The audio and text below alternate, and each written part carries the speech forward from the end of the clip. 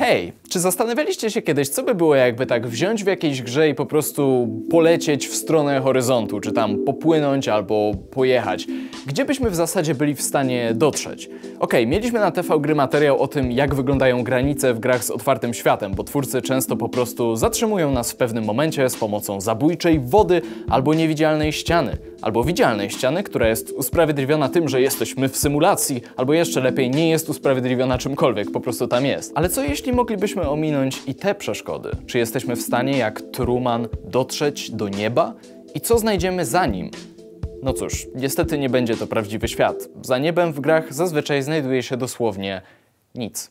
Problem polega na tym, że do nieba jako takiego zazwyczaj w grach nie będzie się dało dotrzeć nigdy. Choćbyście lecieli nawet odrzutowcem, horyzont będzie się wydawał oddalać w nieskończoność, a to dlatego, że zazwyczaj tak właśnie się dzieje. Rzecz, o której mówimy dzisiaj, nazywa się Skybox mimo że boksem w zasadzie to już dawno nie jest. Niebo to rzecz, która wydaje się być błaha, ale pełni bardzo ważną funkcję w grach wideo. Może to brzmieć jak głupi frazes, ale pomyślcie, jeśli nie jesteśmy akurat w jakimś pomieszczeniu, to często w zasadzie połowę ekranu zajmuje właśnie niebo. Element w grze, którego nie możemy dotknąć i nie możemy wejść z nim w interakcję, a jednak robi ogromną różnicę. W świecie gry Transistor mieszkańcy miasta głosowali na to, jakiego koloru niebo chcą zobaczyć każdego dnia. Nie wydaje się to być błahą rzeczą, w końcu niebo w znaczący sposób wpływa na wygląd otoczenia, a wygląd otoczenia może wpłynąć na nasz nastrój. Dla twórców gier oznacza to tyle, że planując poziom lub jakąś scenę, mogą rozważyć sklepienie jako element, który może podkreślić odpowiednie emocje i ton danej sekwencji. W The Last of Us pierwsze opisy scen mocno koncentrowały się właśnie na pogodzie. Pierwszy poziom po prologu to całkowicie zachmurzone niebo, a to oznacza bardziej rozproszone światło, jest ciemniej, kolory są mniej nasycone. W tym wypadku służy to podkreślaniu beznadziei, nudy, opresji i melancholii. Niebo w grach wideo to kopuła, która otacza dany poziom, mapę czy świat. Oryginalnie używało się sześcianu. Na każdą stronę kości, od środka oczywiście, nakłada się część panoramicznego obrazu, który reprezentuje nie tylko niebo, ale też często inne elementy horyzontu, np. oddalone góry, lasy itd. Tak Dziś czasami też używa się tego rozwiązania, np. w Kerbal Space Program, na co łatwo natrafić, jeśli chce się samemu zmodyfikować tzw. Tak skybox. Ten jeden obraz podzielony na sześć płaskich kawałków zmienia wygląd gry diametralnie, na bardziej realistyczny, jaskrawy, albo no, na dowolny. Ok, metodą bardziej współczesną niż Skybox jest Sky Dome. Dome, czyli kopuła, bo taki właśnie niebo ma w tym wypadku kształt. Pozwala to na nieco więcej operacji ze względu na to, że taka kopuła jest geometrycznie bardziej złożona niż sześcian, ale podstawowe założenia pozostają dokładnie takie same. Cały świat jest otoczony ogromną płachtą, która pobudza wyobraźnię, sugeruje ogrom świata i wystarczy ją jedną usunąć, żeby cała iluzja zniknęła. Niektórzy dostrzegli znaczenie nieba w grach i dlatego są już dziś osoby, które specjalizują się właśnie w tym, na przykład Isaiah Sherman, tytułujący się obecnie jako starszy artysta od Skyboxów. Pracował ostatnio nad Doomem, ale wcześniej również nad Destiny. I gry od studia Bungie, właśnie Destiny czy oryginalne odsłony Halo, często pojawiają się jako przykład w dyskusji o Skyboxach. To jest ekipa, która znakomicie rozumie potencjał takiej panoramy. Główna lokacja w Destiny, czyli wieża, to w zasadzie prosty poziom otoczony imponującą kompozycją, która przecież nie odgrywa w grze żadnej innej roli niż tło. Nie można tam iść, wejść, zbliżyć się, a jednak można powiedzieć, że to ten widok jest główną lokacją w Destiny, a nie wieża, po której cały czas stąpamy. No ale dobra, okej, okay. mówiliśmy cały czas niby o jakichś statycznych obrazkach, tak? A tu nagle pokazuje coś takiego, co w zasadzie jest dość dynamiczne, bo poruszają się jakieś rzeczy na horyzoncie,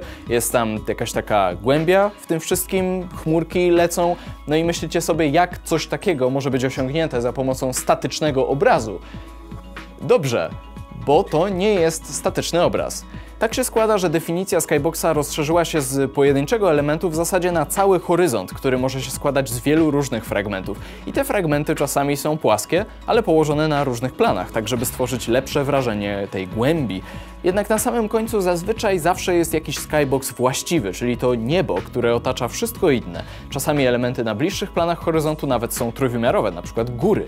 Wykorzystanie prostej geometrii jest oczywiście bardziej kosztowne niż czegoś płaskiego, ale daje lepszy efekt. Z kolei na temat tego, jak zrobić chmury, można znaleźć dosłownie całe wykłady. W Horizon Zero Dawn, jak i w niektórych innych grach są one osobnymi obiektami i sam proces tego, w jaki sposób chmury są generowane, jest naprawdę fascynujący.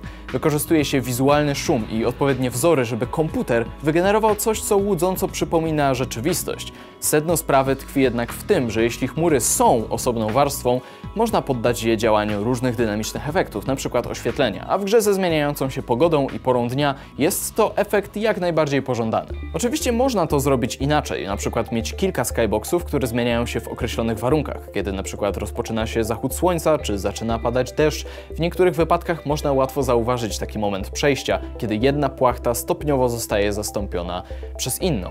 Problem w tym, że w wypadku gier wideo zawsze podchwytliwą rzeczą jest fakt, że to wszystko musi być generowane w czasie rzeczywistym. Na przykład w wypadku Horizon twórcy akurat dość szybko doszli do fajnej metody generowania chmur, tyle że w wypadku tej metody generowanie samych chmur działo się w tempie jednej klatki na sekundę, co dla osoby zajmującej się animacją 3D i tak było dość imponującym czasem. W każdym razie w związku z takimi realiami gier wideo bardzo często trafia się na fascynujące rozwiązania. Na przykład mówiłem wcześniej, że przecież jak coś się porusza, to nie może być obrazkiem, a jednak może. W The Last of Us chmury i niebo to jedno i to samo. Oczywiście również ta gra wykorzystuje kilka dodatkowych elementów na horyzoncie, takich jak budynki czy coś takiego, ale poruszające się chmury są w rzeczywistości płaskie. Deweloperzy dostroili do tego swój własny algorytm. Z grubsza wygląda to tak. Masz panoramiczny obrazek, który będzie twoim skyboxem i rysujesz na nim odpowiednią ścieżkę. Na podstawie tej ścieżki generowana jest z kolei odpowiednia transformacja.